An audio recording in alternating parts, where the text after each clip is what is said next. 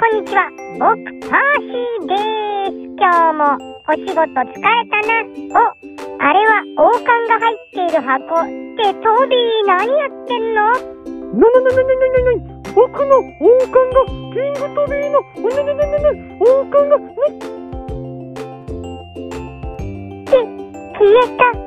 あれ後ろに乗っているのって？ちっちゃくない？どうしたの？さっき乗っていなかったのにな。まあいっか。出発！えー、ちょちょちょちょどうなってんのよ。ディーゼル機関庫になってる。ここ僕のです。うわーフリンもでっかくなってるなにこれあゆ夢か。あーびっくりした。夢でよかった。あら、みんなもうお仕事行ったんだ。僕も急げあ、ヒロ、おはよう。あれ？これは、く、黒じゃないか。死んだはずの黒が、なんで？レディースエンドジェントルメン。Are you ready? Are you ready? うー、ふい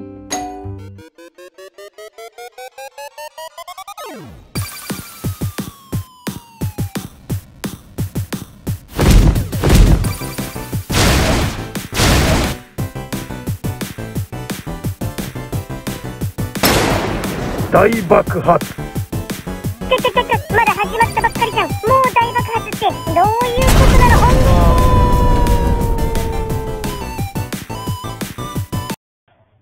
ああれ？朝だ。また夢だったの？なんだか寝言で黒とか言ってましたよ。えー、夢のまた夢だったのか。あーでもたくさん寝たからすっきりした。仕事行ってこようあ、あれマジまたかよ。これもまた夢なの？何やってんの？クランキー。うーん、夢かどうか確かめられないしなどうしよう。お、ドキドキマウンテンか。よいしょ、よいしょ、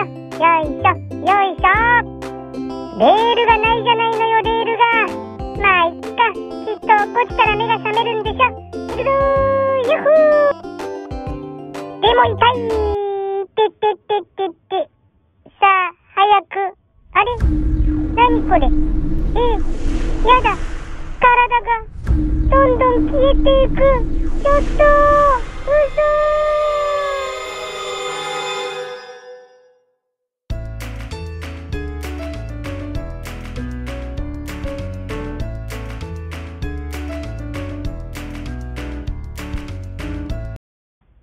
ああ、ああ、あ、夢だったのか。いやいや、びっくりした。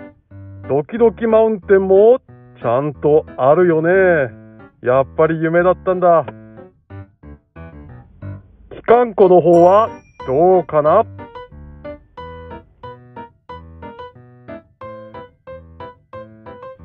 うーん。